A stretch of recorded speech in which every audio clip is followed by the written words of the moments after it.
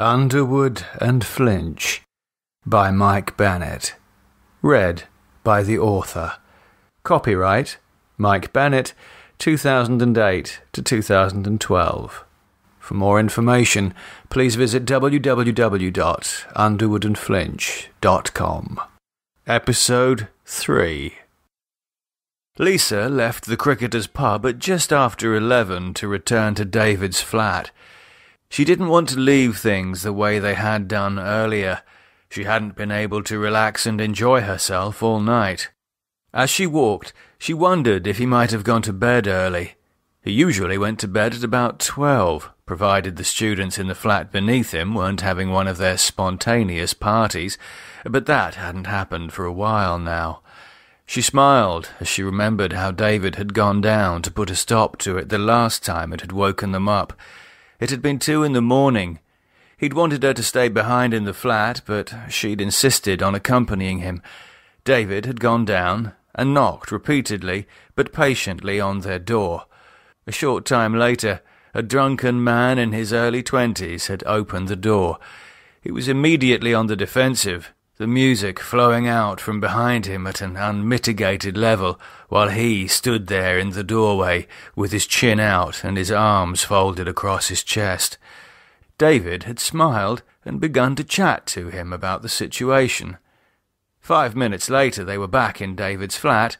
The music had been reduced to an acceptable level, and David was pinning a piece of paper with the man's telephone number on it to the kitchen notice board. The man, whose name was Nathan, had given it to David in the event that he might need it in the future to call to complain about noise or anything else. She'd been impressed and had told him so. He told her that disarming an enemy with diplomacy was something he'd learned in the army. Surprised, she'd asked him to tell her more, but he hadn't. He'd told her he was tired and that he'd tell her later. She didn't press him on it. She figured he'd tell her whenever he was ready, though of course he never had. She bristled as the feeling of rejection she'd felt earlier began to stir again. The unwelcome, though insistent thought that reminded her that while David may well be fond of her, he had no room in his life for her. Then her anger returned.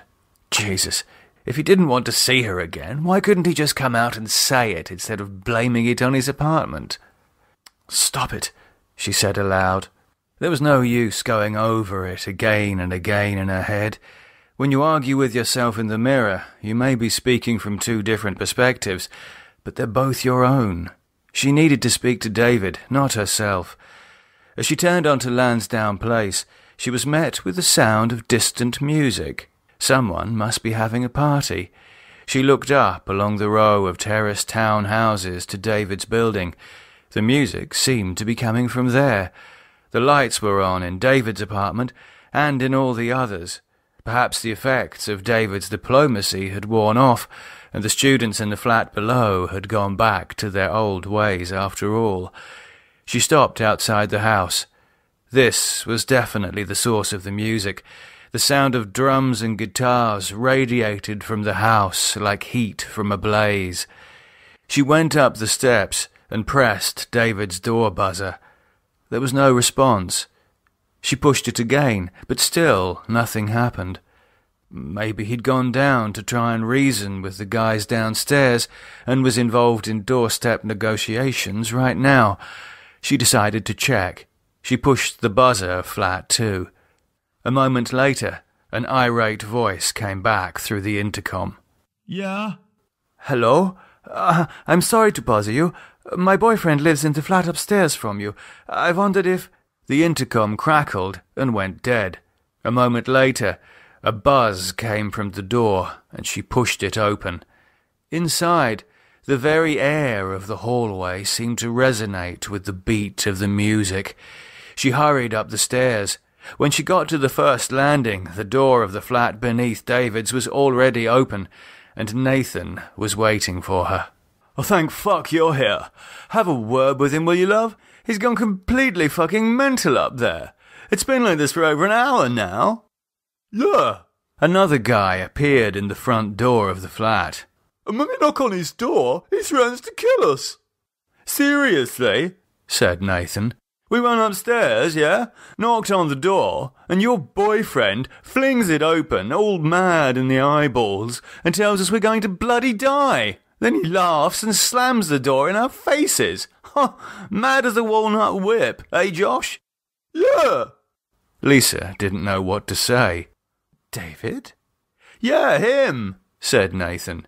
Your bloody loony boyfriend. We called the police, but they said it was a domestic matter and they couldn't do anything about it. Huh, fat lot of fucking good they are. I mean, listen to that. He cupped an ear in the direction of the stairs.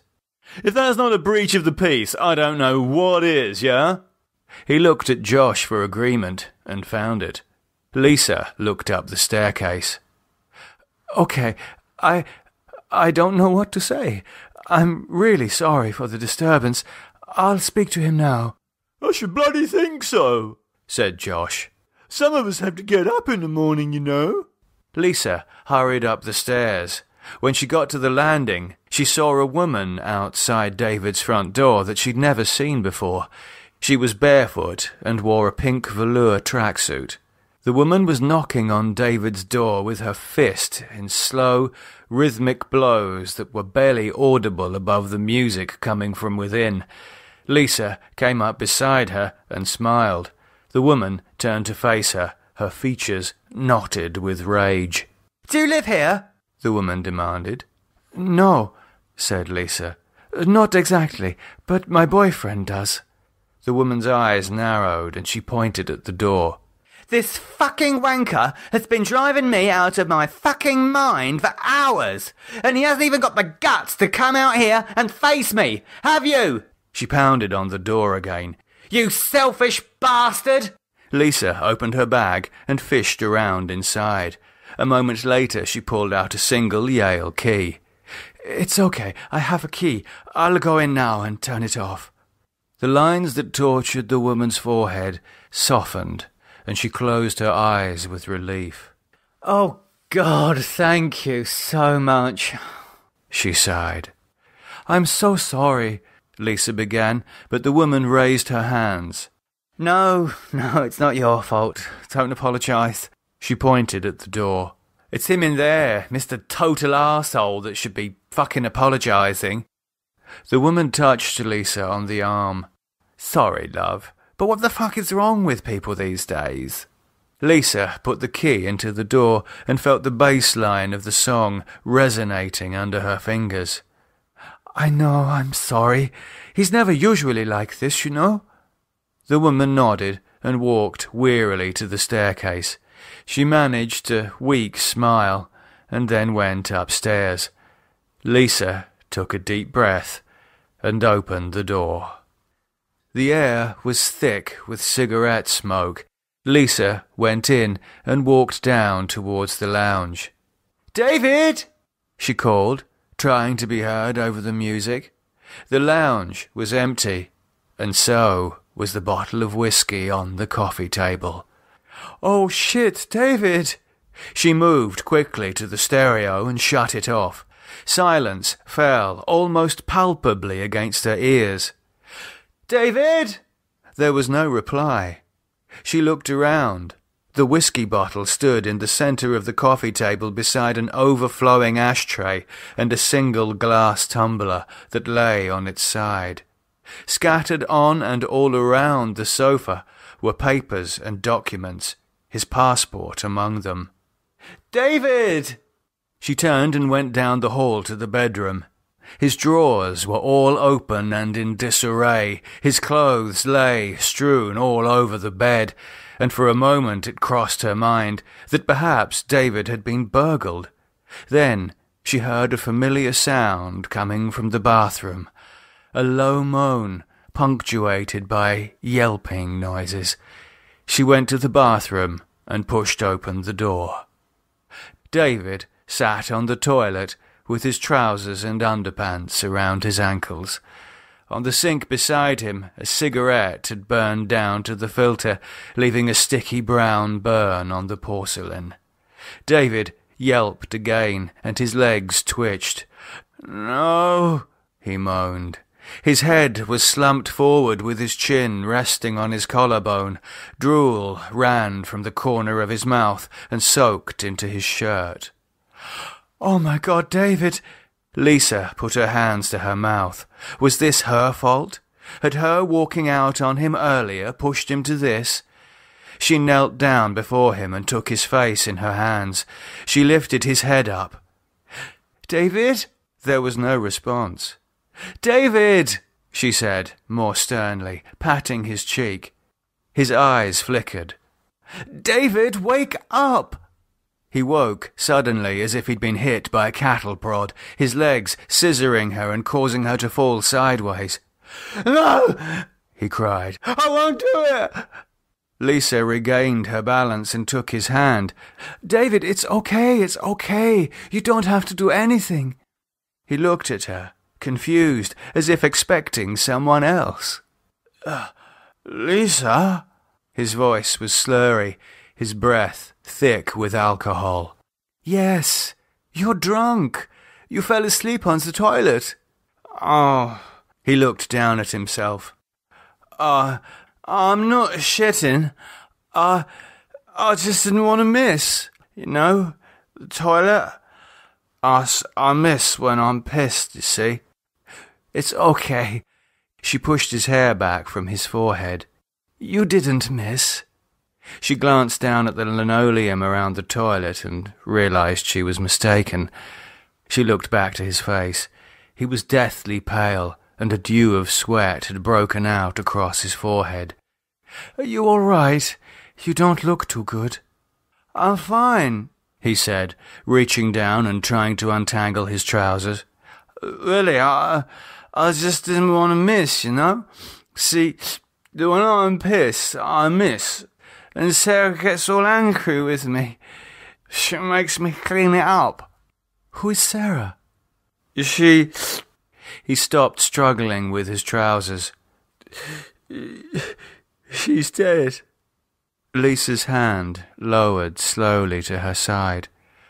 Oh, I see. He looked up at her.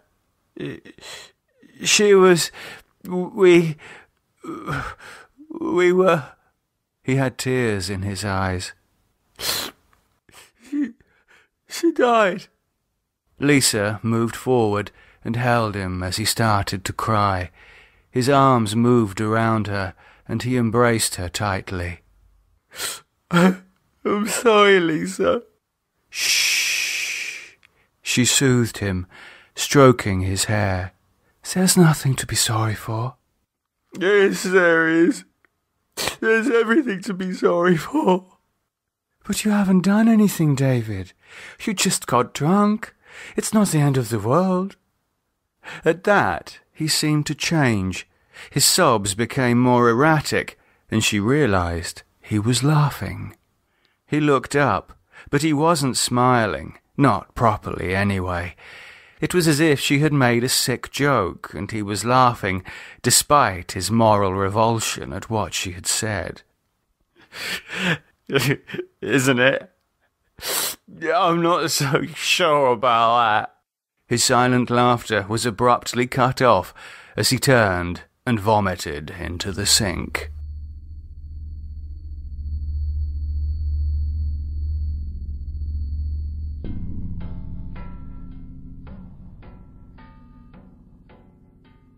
Are you sure you don't want a coffee?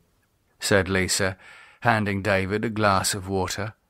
They had moved into the lounge, and he sat at the end of the sofa looking generally ghastly. No, thanks. He took a sip. This is the best thing. Apart from more whiskey, of course. He managed a slack mouthed smile. yeah, just kidding. I hope so. I can't believe you were drinking. What made you do that? He closed his eyes and slowly rubbed his face. I got I got a letter. Um, I got some some bad news. Lisa sat down beside him. Oh my God. She lay a hand on his shoulder. Do you want to talk about it? Oh, I'd love to. I'd love to talk all fucking night about it. But he shrugged. No, oh, it wouldn't do any good. She smoothed back a lock of hair that was stuck to his forehead. Of course it would do good. People need to talk about their problems, David. Maybe if I had been here when you had got the letter, you wouldn't have got drunk. Huh, yeah, maybe. Why didn't you call your sponsor friend, Steve? Because he would have stopped me, and I didn't want to be stopped. Oh, David, what was in this letter? Please talk to me. He set the glass on the coffee table and looked down at his hands. Then he turned to her. my. My brother has cancer, and he's going to die. Oh no, David, that's terrible. Are you. Are you sure there's no chance? Yeah. Apparently he's had it for a while now. It's. It's just too far gone, you know? How come you only just learned this? He looked back down to his hands. They trembled slightly, and he clasped them together. I don't. I don't really talk to my family, you see. Uh, as a matter of fact, I. I hide from them. so, so they didn't know where I was. Lisa said nothing for a moment. She stroked his hand, trying to read his expression in profile. You hide from them? He nodded, and a tear spilled from his eye. And so, how did they find you? He smiled. oh, they have eyes everywhere.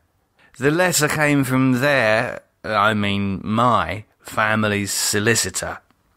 She waited, but he said nothing. She asked, And so, what are you going to do now? He shrugged. I'm going to go to them. I have to. I've I haven't got a choice. Of course, you should go if that's what you want. Is that what all this is? She indicated the general chaos of packing and paperwork that lay around them. Yeah, I fly out tomorrow. Fly? You're flying? Where does your brother live? Spain. She seemed surprised. You told me your family left Spain when you were a child. It had been one of his few biographical disclosures to her. Yeah, my mum and me, we left, but my dad stayed. And your brother stayed with your father? No, no, he left with his mum and all. We grew up in England.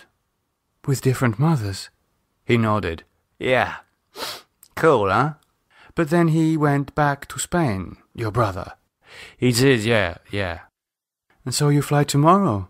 W- what time? Nine. In the evening? No, in the morning. In the morning? Oh, Jesus, David. You'll never be able to get up and catch a plane that early. You're too drunk. He laughed. Drunk? Pfft, this? Baby, this is nothing. 5 a.m. start? Piece of cake. Don't be stupid. It's not funny. No, he shook his head. It's not fucking funny. I can't believe you joke about your drinking. What if you had choked on your own vomit or something? What good would you be to your brother then? David turned on her. Oh, he doesn't need me.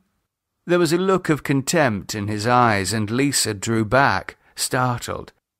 He doesn't want me in some kind of Walton's deathbed drama type way. See, he has to summon me, and I, I have to answer that summons. It's nothing personal. But I, I don't understand. Don't you like your brother? Like him? I hardly fucking know him, Lisa. He's someone I've met from time to time, just like the rest of my family. but We're not what you might call close. We're more like associates rather than brothers and sister. You have a sister? Oh, yeah. She's great, she is. A real fucking pearl. I bet she's a bastard that found out where I was. David picked up his cigarettes and fumbled one out of the packet. Fucking bitch. Lisa watched as he searched among the litter on the coffee table looking for his lighter. She had never seen him like this, not just drunk, but angry, spiteful. The things he'd kept hidden inside were now spilling from him like some time fermented acid. David, perhaps you shouldn't go. At least not tomorrow. Give yourself some time to think this over. You know, you don't have to go at all if you feel this badly about them. He lit his cigarette and shook his head. You don't get it, darling. of course you don't. I mean, why would you? You think I come from a normal family, and all this, this is just normal family shit. Like I say, you know, some Waltons episode, or, or maybe Dallas, which is closer but still way off. See, this isn't like those things. This is, this is more like I don't fucking know. See, we're, we're not a family, my family. We're a disease. He turned to her. When I say I got no choice, Lisa, I mean I really have no choice. My destiny was carved out for me long before I was even conceived. Fuck, I wasn't even conceived, me. I was bred like a horse or a pedigree fucking dog. Lisa frowned. I don't understand. David's lips drew back from his teeth in a smile that bordered on a snarl. Of course you don't, Lisa. How could you possibly understand? He got to his feet and walked into the centre of the room, where he turned back to her with a certain theatrical flair. You see, I am the fruit of a poisonous vine, a family line that's old and pure and cruel in heart. And as much as I wish, I dearly, dearly wish that I was plain old David Smith I can't be. For Smith, you see, was my mother's name. I took it as part of my brilliant disguise. What are you talking about? You are David Smith. Who else do you think you are? He inclined his head forward, and his eyes seemed to darken. My name is David Christopher Flinch and I am damned.